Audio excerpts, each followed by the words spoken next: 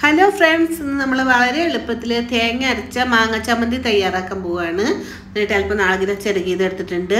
ഒരു രണ്ട് മൂന്ന് കഷ്ണം മാങ്ങ എടുത്തിട്ടുണ്ട്. മുറിച്ചിട്ട് കൊടുത്തിട്ട് തൊലിയൊക്കെ കളഞ്ഞിട്ട് അതേമാതിരി ഒരു നാല് വറ്റമുളക് ഞാനൊരു ചെറിയ കമ്പീമ കോർക്കാണ് ഒന്ന് ചുട്ടെടുക്കാനാണ്.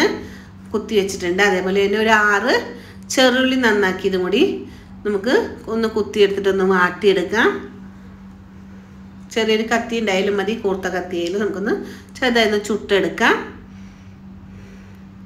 ഇങ്ങനെ നമ്മുടെ ഇതൊക്കെ ഒന്ന് വാടി കിട്ടിയിട്ടുണ്ട് ചെറുള്ളിയും അതുപോലെ നമ്മുടെ പച്ചമുളക് ഒന്ന് വാടി കിട്ടിയിട്ടുണ്ട്. ഇനി അതിലേക്ക് ഒരു അല്പം കറിവേപ്പില ഇട്ട് കൊടുത്ത് വെച്ച് കൊടുത്തിട്ടുണ്ട്. അതേപോലെ ഒരു സ്പൂണോളം പൊട്ടുകടല ഇട്ട് കൊടുത്തിട്ടുണ്ട്. അതേമാതിരി രണ്ട് പച്ചമുളക് എടുത്തിട്ടുണ്ട്. നിങ്ങൾക്ക് എരിവിനനുസരിച്ച് രണ്ട് മൂന്ന് പച്ചമുളക് എടുക്കാം.